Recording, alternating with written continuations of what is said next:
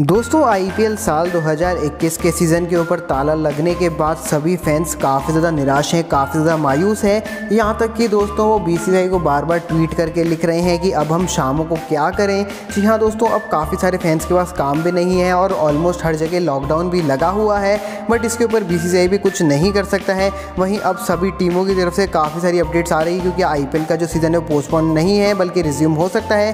खैर, आज हम बात करेंगे कोलकाता नाइट राइडर्स की टीम के बारे में। और टीम के के की तरफ़ से दिन भर में काफ़ी सारी अपडेट्स और काफ़ी बड़ी बड़ी खबरें बाहर निकल के आती है। और आज की वीडियो में मैं आपको टीम के की तरफ़ से टॉप अपडेट्स और टॉप खबरें देने वाला हूँ। तो क्या फ़ायदा, क्या नुकसान इन अपडेट से चलते टीम के को होगा? आज की वीडियो में मैं आपको इसी टॉपिक के रिगार्डिंग ए टू जेड सभी तरह की इन्फॉर्मेशन दूँगा।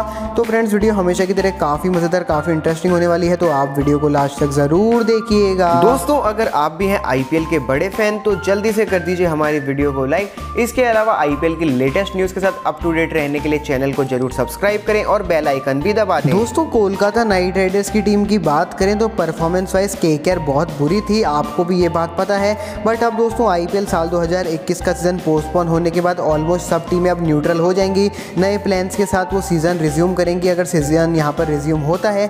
खैर, आप नीचे ज़रूर कमेंट करके बताओ कि क्या आप अभी भी आई पी के सीज़न को मिस करते हो।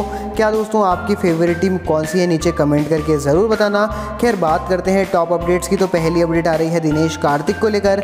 दोस्तों, दिनेश कार्तिक का कहना है कि आईपीएल तो अब जा ही चुका है बट अब आईपीएल से पहले जब वापस वो रिज्यूम होगा, यानी सितंबर नवंबर में तो उससे पहले वर्ल्ड कप आएगा और अब मेरी पूरी तैयारी वर्ल्ड कप के ऊपर है। मैं ज़रूर चाहूँगा टीम इंडिया को रिप्रेजेंट करूँ वर्ल्ड कप के अंदर। दोस्तों, उन्होंने बताया है कि वो उनका जो पूरा फॉर्म है, पूरी बल्लेबाजी है, पूरी विकेट कीपिंग है, पूरा फिटनेस है, वो अपने वर्ल्ड कप के लिए तैयार कर रहे हैं और उनका सेलेक्टर से ये कहना है कि उनको एक बार टीम में ज़रूर देखें, क्योंकि वो काफ़ी ज़्यादा सीनियर है, काफ़ी ज़्यादा एक्सपीरियंसड है।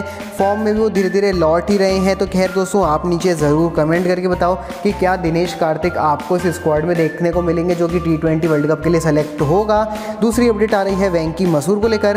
दोस्तों वर्ल्ड टेस्ट चैंपियनशिप न्यूजीलैंड के खिलाफ होने वाली है, जिसका टीम सिलेक्शन आज यानी सात मई को होना है। और इसके लिए दोस्तों वेंकी मसूर ने एक बड़ी अपील कर दी है यहाँ बी से। दरअसल दोस्तों, उन्होंने कहा है कि वो चार मेंबर्स यानी चार खिलाड़ी के टीम से ले सकते हैं। टीम को काफ़ी बेनिफिट करेंगे। कौन से हैं? चार खिलाड़ी दोस्तों, सबसे पहले हैं शुभमन गिल इसके बाद आते हैं कुलदीप यादव, फिर आते हैं प्रसिद्ध कृष्णा और इसके बाद आते हैं वरुण चक्रवर्ती। दोस्तों, ये चारों नाम जो के के वेंकी मसूर ने बताए हैं, ये काफ़ी अच्छे प्लेयर्स तो हैं ही, बट अब देखते हैं बी सी वेंकी मसूर की कितनी बात मानता है। इसके अलावा कौन कौन से प्लेयर इनके अंदर काम के हैं यहाँ टीम इंडिया के अंदर? इसके अलावा कौन कौन से प्लेयर्स का भी फॉर्म काफ़ी अच्छा चल रहा है? तो आप नीचे ज़रूर कमेंट करके बताओ, गिल, कुलदीप कृष्णा और यहाँ पर वरुण चक्रवर्ती में से कौन कौन से खिलाड़ी टीम इंडिया के लिए सेलेक्ट होंगे।